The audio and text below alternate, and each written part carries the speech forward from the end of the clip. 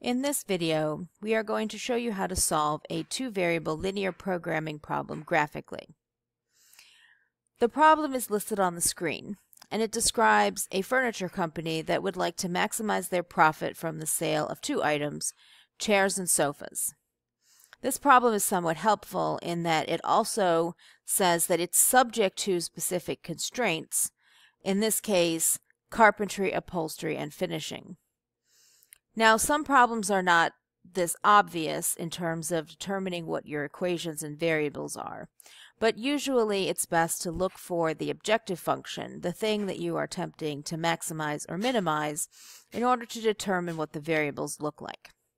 In this case, our sentence on the profit down here says that it's based on each chair and each sofa.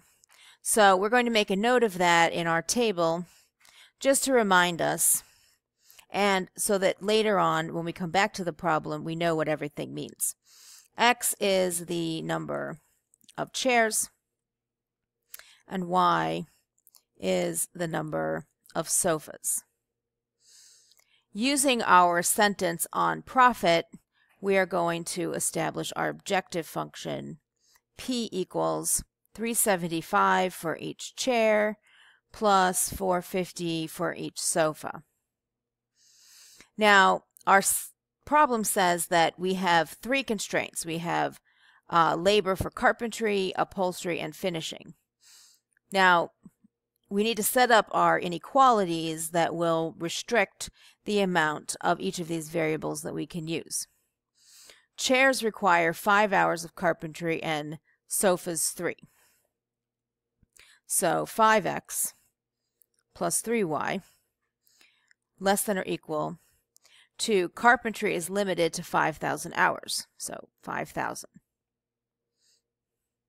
Our next constraint is based on upholstery. Chairs use 2 hours of upholstery and sofas 7.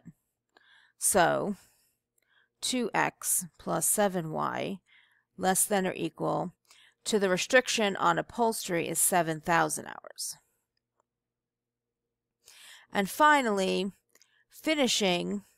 Each finish, each chair or sofa needs one hour of finishing, limited to 2,000 hours.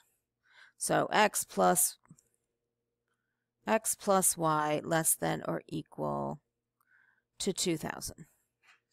And finally, to complete the problem, we have non-negativity constraints, and this just means that none of our variables can be negative, since we don't actually know what it means to make negative 10 chairs. Okay, once we have our equation set up, then we can go to the graphing program and try to find our solution. So I'm going to go to the website Desmos, and we're going to enter each one of our equations starting with the constraints. So 5x plus 3y less than or equal to 5,000. Desmos is nice because if you want the less than or equal to inequality, just type the less than key and then the equals to key, and it will give you the inequality you want. Now our variables are kind of big, and so we need to adjust the zoom until we can see the bounds of our constraints. Now I'm using the axes here as my bounds on positive values for each of my variables.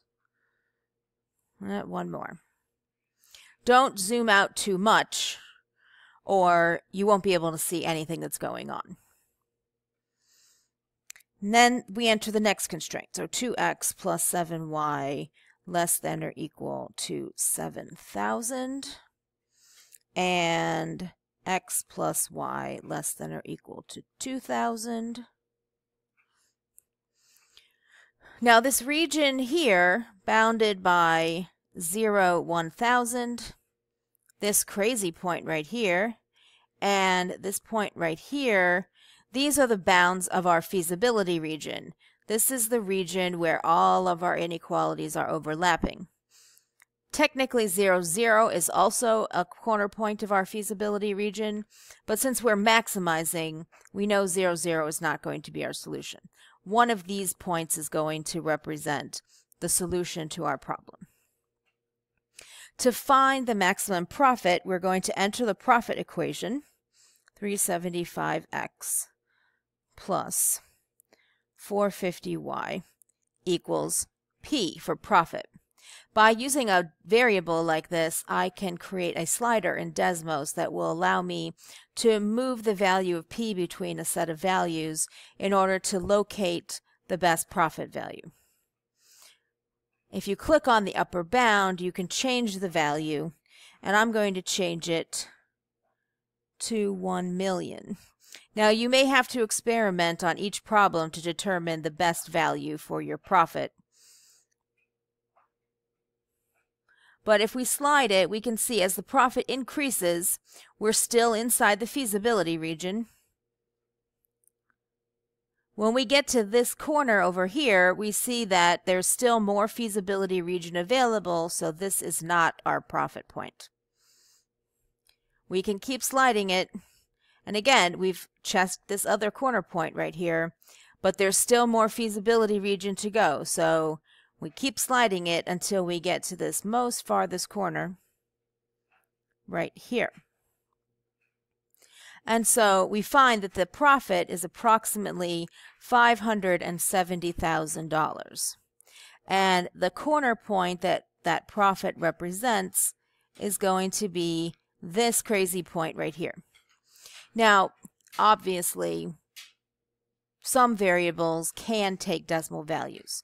If we were talking about acres of farmland, it would be perfectly reasonable to have 4.759 acres uh, or 482.759 acres of land. Acreage can be divided up into as small of unit as you want. Chairs, however, have to be whole numbers. For the purpose of this problem, we're simply going to assume our solution rounds these values down to the next whole value. It's possible that um, this small decimal might allow us to round the chairs up, but we're going to go with a safe thing and assume that we'll be able to make at least 482 chairs and 862 uh, sofas.